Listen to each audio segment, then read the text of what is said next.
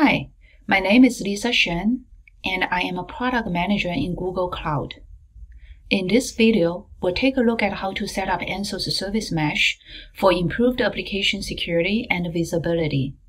We'll install the ASM on the Anthos GKE cluster on AWS. The similar process also works for GKE clusters on GCP and Anthos attached clusters such as a EKS cluster on AWS. Anthos provides a unified platform for managing Kubernetes clusters across different clouds as well as on-prem. These clusters can be running inside of virtual machines and instances as well as on bare metal.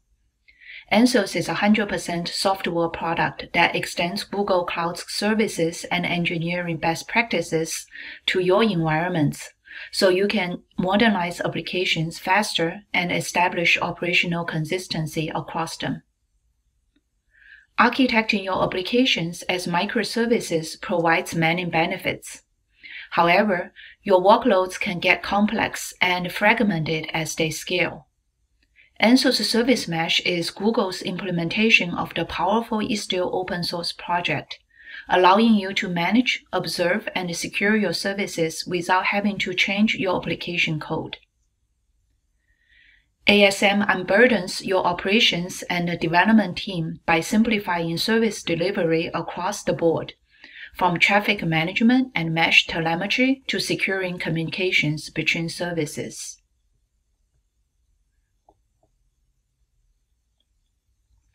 ASM is a managed platform that uses Istio APIs to provide service health tools, complex traffic controls, and manage, manage the security authority.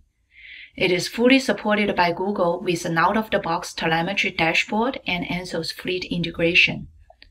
Customers adopt Service Mesh for a few reasons. With ASM, you can build secure services in your application. Another reason is the reliability provided by ASM, as it gives you uniform observability. ASM increases application visibility, and what gets measured gets improved. Advanced application layer networking and easy traffic management is another benefit provided by ASM. We'll explore some of these benefits in this video demo. Now let's navigate to the GCP console. As you can see, I have two clusters created already in my project. One is an Anthos cluster on AWS, and another one is the GKE cluster. In this demo, we're going to take a look at how to install the ASM on the Anthos cluster on AWS. There are some prerequisites that you need to be aware of before the ASM installation.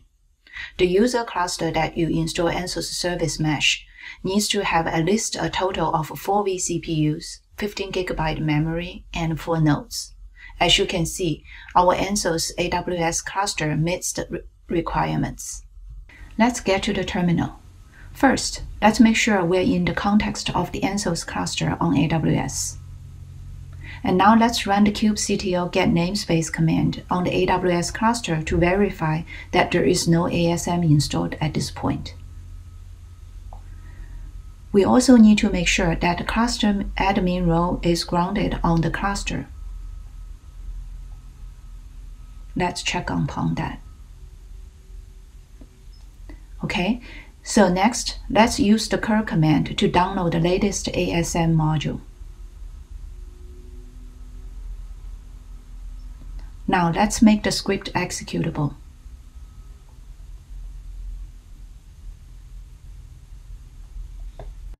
Now let's use the ASM CLI to install the ASM in-cluster control plane. Note that the dash enable underscore all flag allows the script to enable the required Google APIs, set identity and access management permissions, and make the required updates to the cluster. The process is going to take about a minute or two, so while we're waiting for the ASM module installation, let's take a quick look at the overall installation process in the slide. Anthos Service Mesh gives you the option to deploy and manage gateways as part of your service mesh. A gateway describes a load balancer operating at the edge of the mesh, receiving incoming or outgoing HTTP TCP connections. Gateways are on-way proxies that provide you with fine-grained control over traffic entering and leaving the mesh. We will install Istio Ingress Gateway right after this ASM CLI install. Anthos Service Mesh use sidecar proxies to enhance network security, reliability, and observability. With ASM, these functions are abstracted away from the application's primary container and implemented in a common out-of-process proxy delivered as a separate container in the same pod. As a result, the developers can focus on the business logic. The separation results in a lightweight and portable application. So following the Ingress Gateway installation, will enable the automatic sidecar proxy injection so that Anthos Service Mesh can monitor and secure traffic. Now let's get back to the terminal. Seems the CLI install is done successfully. To verify that ASM is installed correctly, We'll use kubectl get namespace command to verify the ASM system and Istio system are installed. We're also going to see the pods running in the Istio system. The next step is to install the Ingress Gateway as we have talked about in the slide earlier. Since gateways are user workloads, and as a best practice, they shouldn't be deployed in the control plane namespace. So let's create a namespace for the ingress gateway. Now let's enable the auto injection on the gateway by applying a revision label on the gateway namespace. The revision label is used by the sidecar injector webhook to associate injected proxies with a particular control plane revision.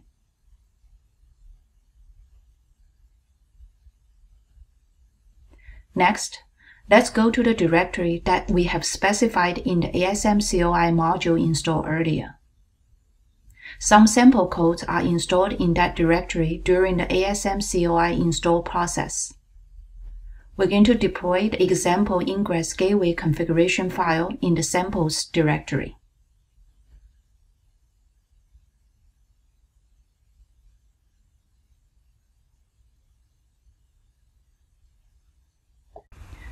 To complete setting up Anthos service mesh, we need to enable automatic sidecar injection.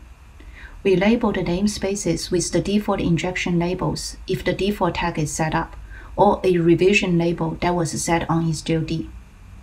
Note that any existing pods in the default namespace must be restarted for sidecars to be injected. We don't have to do that since there is no applications running yet in our default namespace. Now that we have the ASM installed and the sidecar proxy configured, we can go ahead and deploy our application to the default namespace and start observing the application behavior. We're going to use the book info application that comes with the ASM CLI install in this demo. And this is the Istio website related to this sample book info application. The book info application is broken into four separate microservices. The end-to-end architecture of the application is shown here. There are three versions of the reviews microservice, for example. Version V1 doesn't call the rating service. Version V2 calls the rating service and display each rating as 1 to 5 black stars. And version 3 calls the ratings service, displays each rating as 1 to 5 red stars. Let's take a quick look at the sample codes that are also available in the Istio public repo. For example, the bookinfo.yaml file sets up the four services and deployments. For the review service, there is one container designated for each version of the service in the application.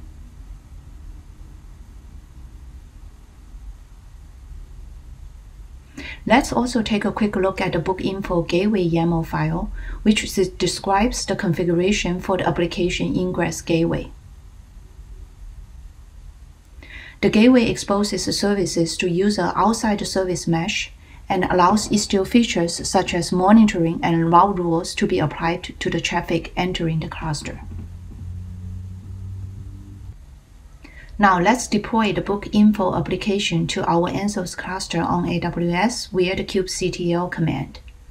We're going to use kubectl apply command to apply the book info YAML file.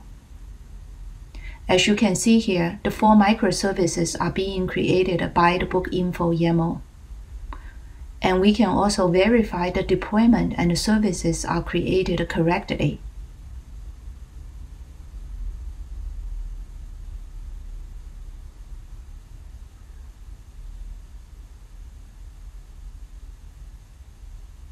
As you can see, the pods and the services are being created. Now that the book info services are up and running, you need to make the application accessible from outside of your Kubernetes cluster, for example, from a browser. So, a Istio gateway is used for this purpose. We're going to define the ingress gateway for the application. And next, we're going to confirm that gateway has been created. Next, let's get the external IP address of the ingress gateway via the kubectl get service command. With the external IP address, we're able to access the application from the web browser. Now let's get to the web browser.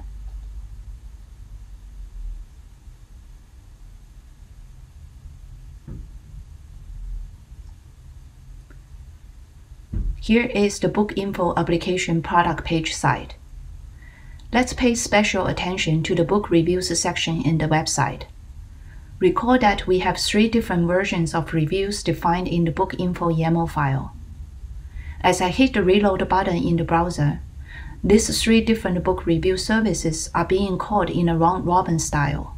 First one is the review with no stars, and the other two are the black stars and red stars. Switching among the three services is normal Kubernetes routing and balancing behavior. Let's switch to the GCP console. The Anthos Service Mesh page in the Google Cloud Console provides both summary and index metrics, charts, and graphs that enables you to observe the service behavior. And you get all the pre-configured dashboard service metrics and logs out of the box. You can monitor the overall health of the services or drill down on a specific service to troubleshoot the issue. Let's navigate to the topology view of the application services. Let's take a look at one service, say product page as an example. Let's click on the bubble and we can see more info related to the service and the SRE golden signals such as error rates and latencies are shown. We can expand it, which consists of a deployment pod and a Kubernetes service. The ASM plots the graph by observing network traffic internal to the clusters and services. Let's go back to the table view to see the list of services. We can select the product page service for a close examination. After the service is selected, a left navigation bar appears. The overview page displays SLO status, key metrics, and details about the service. The health page displays SL details. You can create service level objectives for individual services. These are supported if the apps are running on the GKE clusters and will be supported for Anthos multi-cloud clusters in the near future. The metrics page displays charts for key metrics and infrastructure metrics. You can break down the metrics in numerous ways, such as the cluster and the pod. Here, you can also view the application logs and traces to find more about your services. The connected service page displays details about inbound and outbound requests. The diagnostic page displays error log. And the infrastructure page displays the key metrics and details about each pod. You can click the pod name to go to the workloads page in the Google Cloud Console. For more information on the additional tabs related to the service, you can visit ASM Dashboard Technical Documentation website.